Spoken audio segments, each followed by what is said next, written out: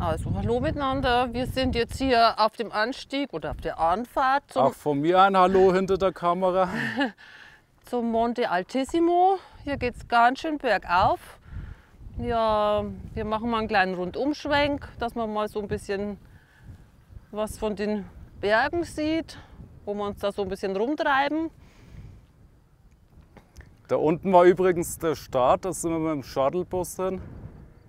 Aber nichtsdestotrotz haben wir ungefähr 400 Höhenmeter noch vor uns. Ich hoffe, ich habe die Hälfte schon geschafft. Und die haben es in sich. ja. Ich weiß nicht, ob man es erkennen kann, aber da unten ja, sieht man den Gardasee. Ich hoffe, das ist ein bisschen besser auf der Kamera, das Bild.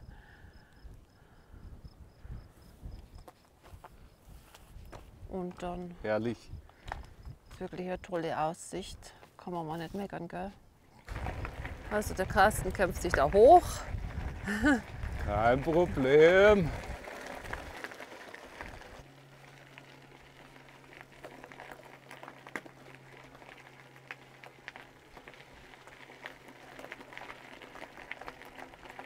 Vor mir noch einmal der Gardasee.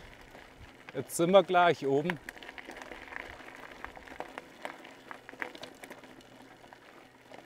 Es ist ein wenig heute. Diesig sagt man. Diesig.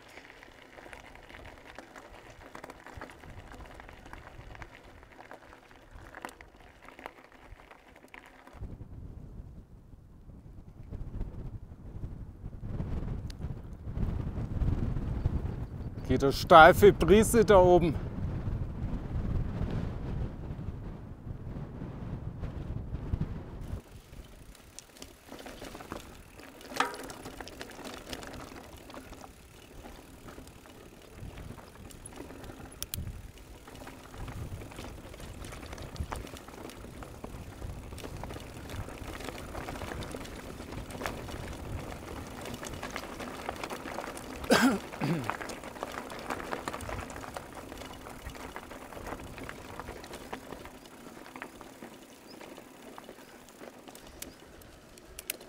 So, einen Gipfel haben wir erreicht. Ja. Alter, was gibt's noch? Vorsicht.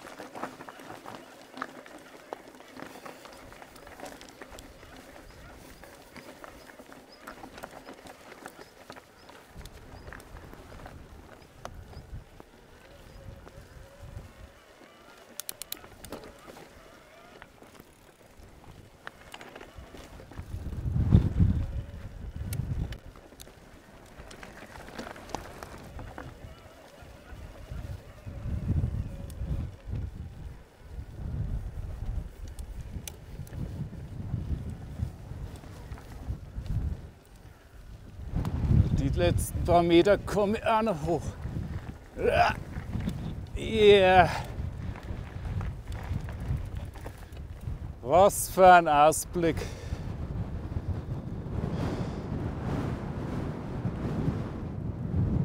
Da unten ist Riva del Garda, Arco.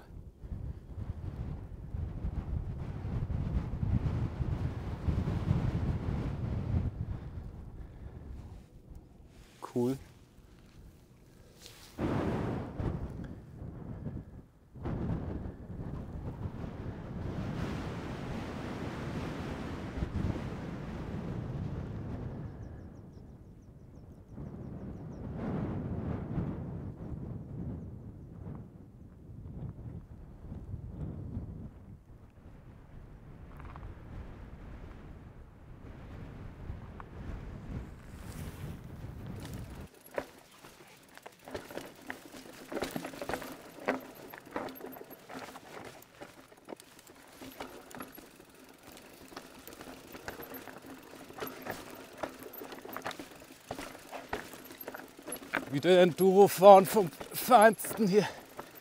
Alter.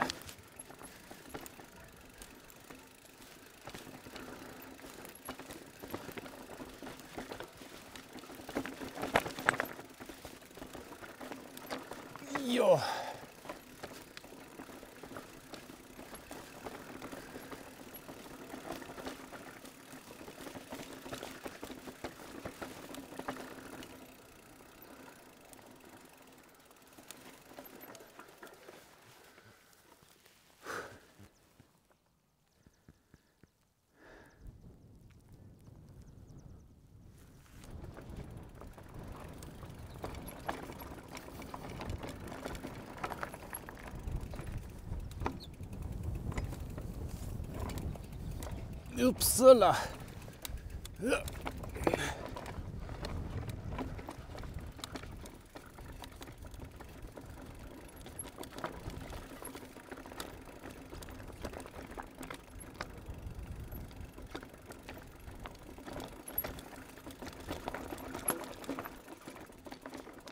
Da brauchen wir einen Panzer. Alter. Ja. Hallo.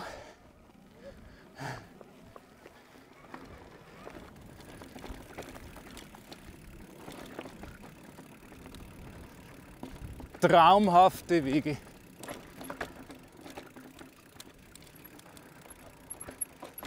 Aber halt bitte ein bisschen auf Schaltwerk aufpassen.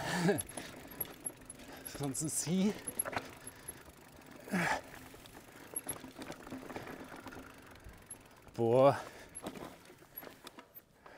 Cool.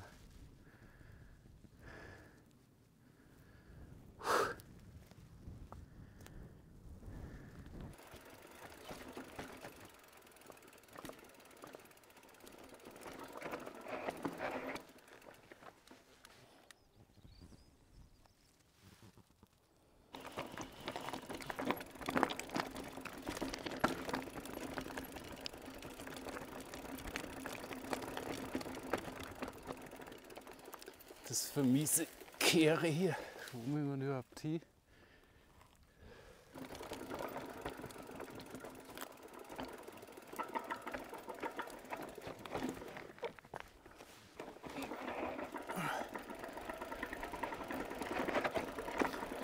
Wieder Bremsbelagkiller, Alter.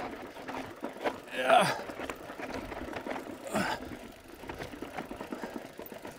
Ja, Steiler geht schon immer. Alter Falter.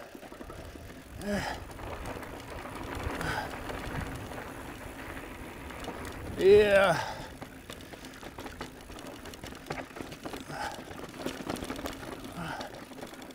Puh.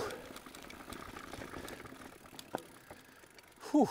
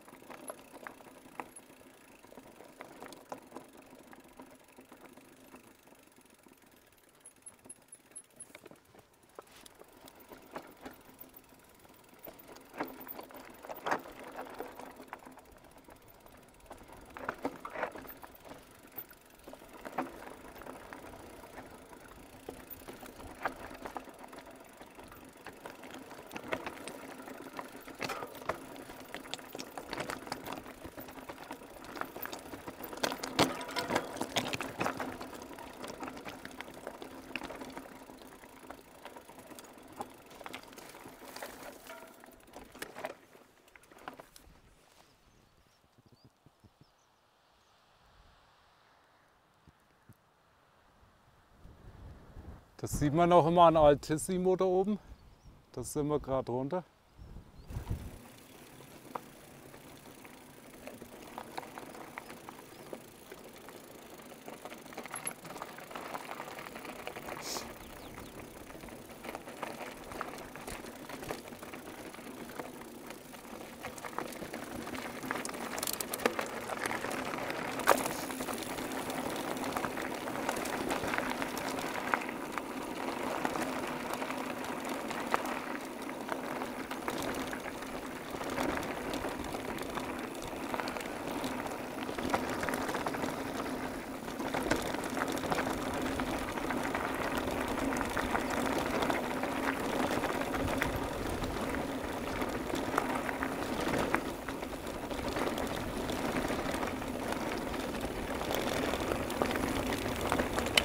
Endlich geht es immer wieder flowig nach unten.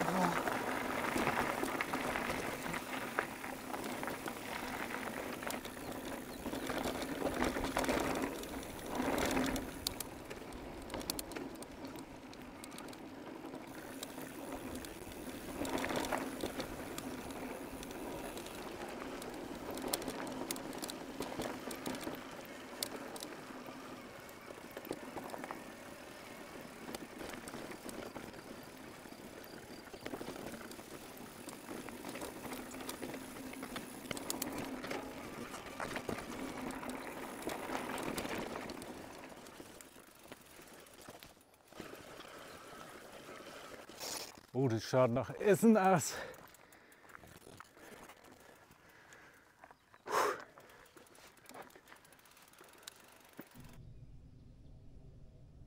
Hier kann man übrigens optimal Brotzeit machen.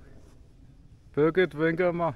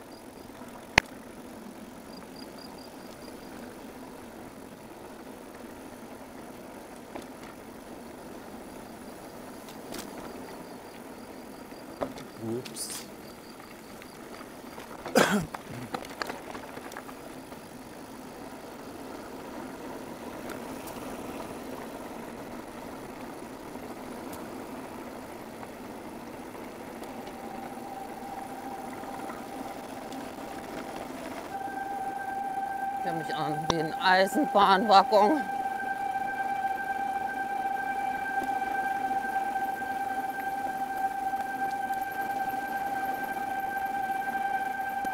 Also du musst so in die Eisen gehen, das ist brutal.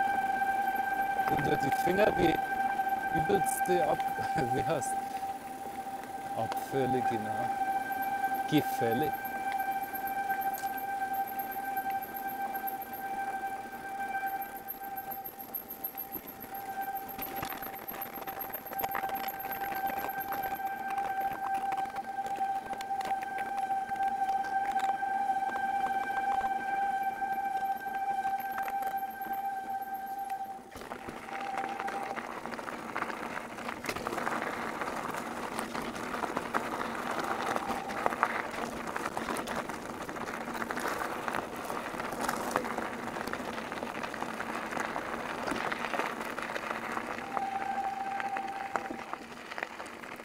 Das ist normal, dass meine Bremsen so quietschen. Ja, ja, die sind total heiß.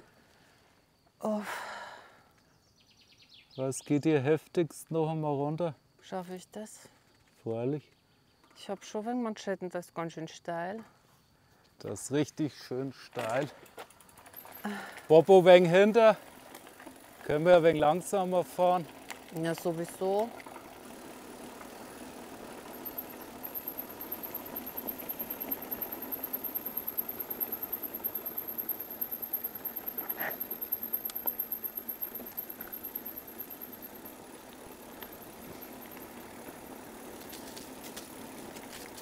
Natürlich mal ganz schön steil.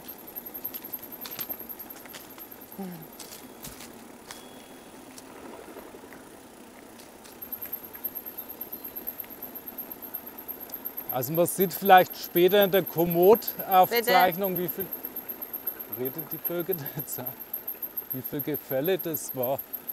Das interessiert mich selber mal.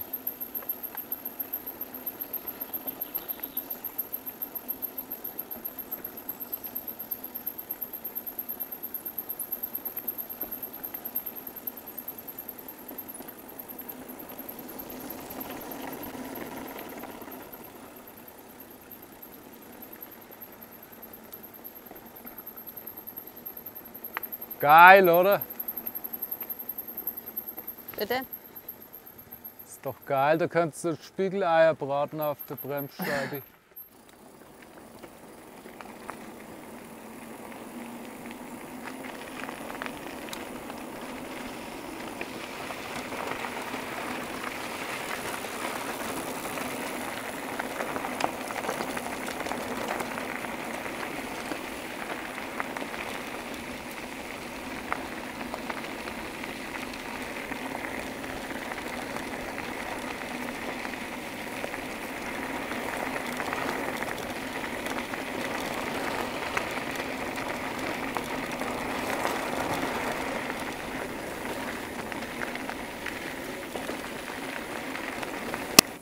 Ja, jetzt haben wir wieder einen schönen Weg entdeckt, der auch fahrbar ist für mich.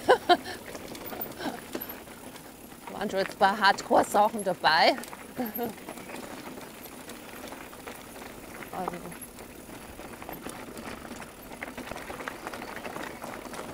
Ist ein wenig hopperig, aber okay. Ja, man sieht immer schöne Sachen.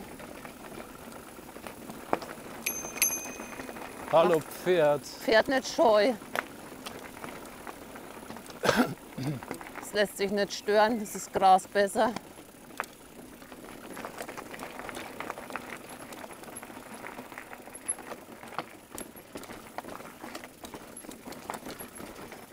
Da haben wir ein S1. Haben wir ein S1? Jetzt durch weiterfahren können. Du, könntest, du kannst das ja. Ich kann's. Könnte ja, wenn sie will. Jetzt habe ich meinen Flow verloren. Wie geht's denn da unten weiter? Wie man hier sieht, das ist eine Mountainbike Red Tour. Genial. Ja, bin ich eigentlich schon mal runtergefahren, so ein Ding. Die Birgit hat sich gerade wenig hingelegt.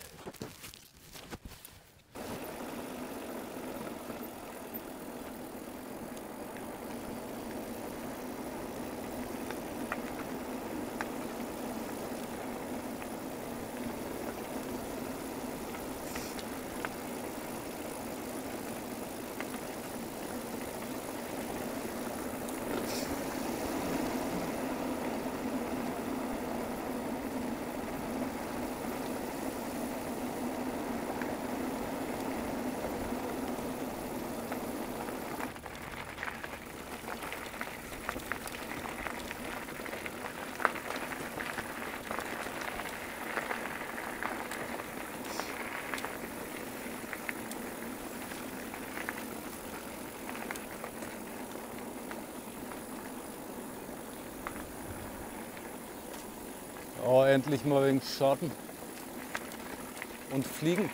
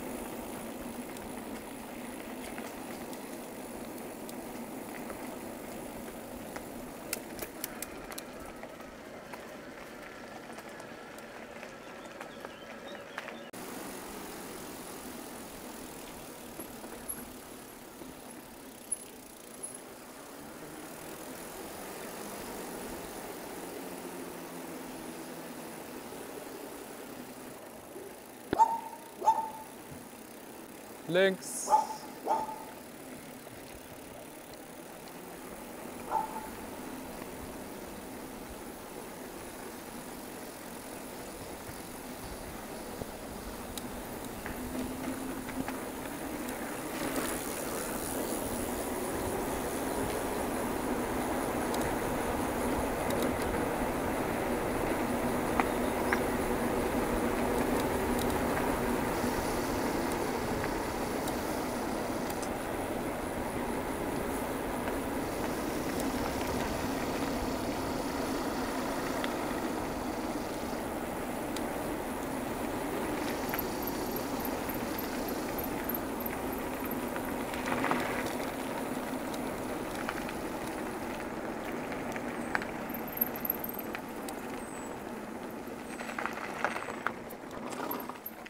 Falsch.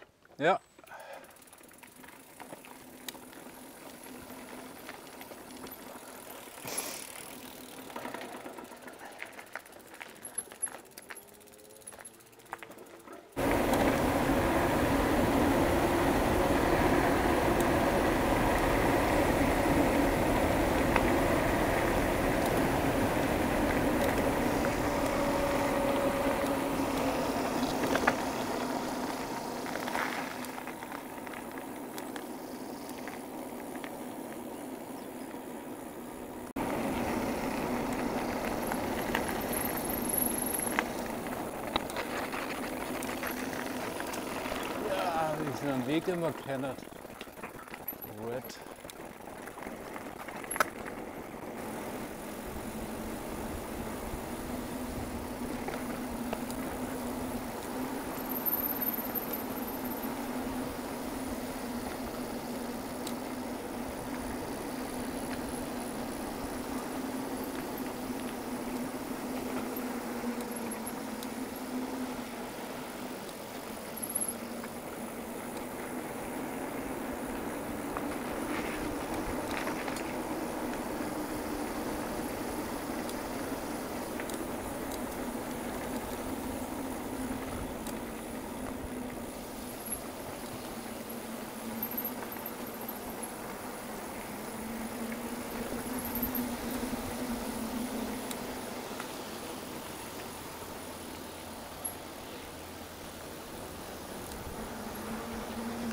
我